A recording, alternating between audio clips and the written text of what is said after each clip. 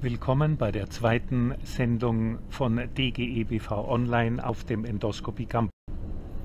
Wir zeigen Ihnen die Eröffnung und Alexander Meining mit den DGEBV News. Ja, herzlich willkommen, meine Damen und Herren. Auch im Namen meiner Mitmoderatorin Andrea Ripphaus möchten wir Sie ganz herzlich begrüßen zur zweiten Sendung von DGEBV Online.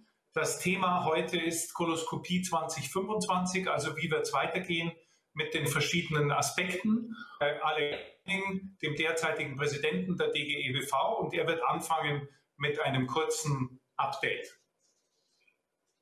Ja, ähm, herzlich willkommen auch von meiner Seite. Ähm, lieber Andrea, lieber Thomas, ähm, freut mich sehr, dass ihr beide das macht und ich freue mich auch schon auf das Programm insgesamt. Ähm, ich darf ganz kurz berichten, es ist ja DGBV Online, was wir letztendlich planen und wie es weitergeht. Und ähm, wir stehen sehr gut in den Planungen. Wir werden eine Hybridveranstaltung durchführen, beginnend am 8. April. Und äh, am 10. April wird die Veranstaltung beendet sein.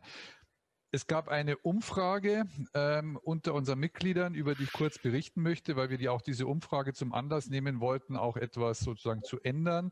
Wir werden am Donnerstag am Nachmittag anfangen äh, und am Freitag auch erst am späten Vormittag, sodass wir das Programm ein bisschen in den Abend verlegen. Das war auch Wunsch vieler Mitglieder, auch um vielleicht ein bisschen auch diesen ähm, äh, Stream-Charakter ähm, besser ähm, auch mehr oder weniger ähm, genießen zu können, also dass man abends die Sitzungen anschauen darf.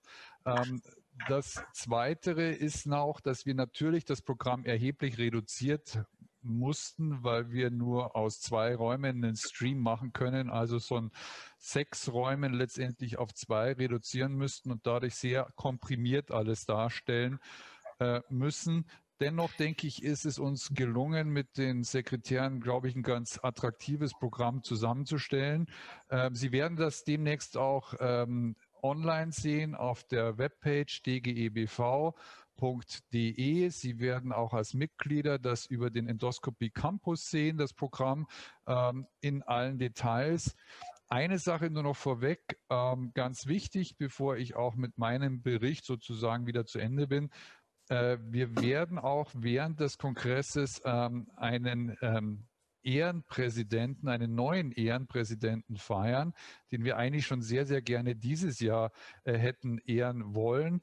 Ähm, aus bekannten Gründen hat es nicht stattgefunden, aber ähm, Horst Neuhaus, der ja auch heute präsent ist, ähm, soll von uns die Ehrenpräsidenten ähm, Präsidentschaft übertragen bekommen. Ich glaube, es gibt kaum einen, der es mehr verdient hat als er. Und allein das, glaube ich, ist schon ein Grund, ähm, nach Würzburg zu kommen.